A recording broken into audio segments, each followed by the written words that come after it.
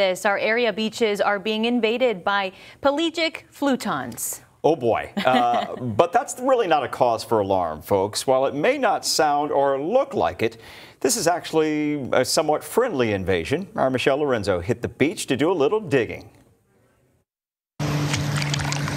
You know, when tourists visit our coastal bend beaches, they expect to see a lot of sun, a lot of sand, and of course, the water. But sometimes what they don't expect to see is seaweed. And you know what? There is a lot of it that's been washing up on shore. We got here about a week ago, and the seaweed was really bad that day. It was like the worst I've ever seen. Massive piles all along the beach. But this tourist from Oklahoma didn't let the problem bother him.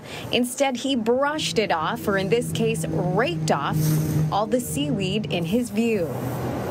The seaweed covering our beaches is called sargassum. A 5,000 mile wide blob of this seaweed floated across the Atlantic from Africa. And while it may not make for a picture perfect view, most visitors are still able to have a good time on area beaches we were pretty unaffected by it. Yeah, I think the most would be like in the water. It was a little bit gross whenever it was like brushing up against yeah. us. But other than that, it hasn't been a super big deal for us. The sargassum does have a huge positive impact on the environment. Nueces County Coastal Parks Director Scott Cross says sargassum, despite the funky smell, the pros outweigh the cons. In fact, it helps to stabilize our shoreline because it's got such great sand trapping capabilities.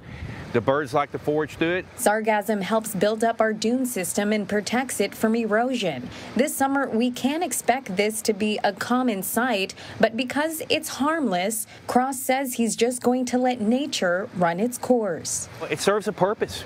And, you know, with some of the erosion we've seen after Hurricane Hanna, it's a good thing. And I don't want to mess with it too much. I want to keep it where it's at. Reporting from Padre Island, Michelle Lorenzo, KRIS 6 News. Just to give you an idea of how important sargassum seaweed is to our ecosystem, in 2003, the United States banned the commercial harvesting of sargassum within U.S. waters. In 2002, sargassum was designated an essential fish habitat by the National Oceanic and Atmospheric Administration, or NOAA. That designation was issued to promote its protection and conservation.